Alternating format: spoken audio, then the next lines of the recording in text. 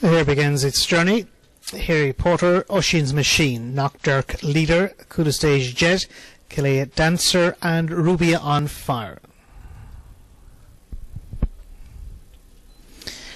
Early pace is set by trap one, Hairy Pawter on the inside, Ruby on fire going okay, followed by Killea Dancer and four in the thick of the action, Coolisteige Jet. One, six and five coming towards the second bend in the 350. One, Hairy Pawter leads, five is second, Killea Dancer heading towards the line. One is looking to hold on and will do so from five and three. 1956. Here, Hairy Pawter for Chris O'Dwyer, our winner.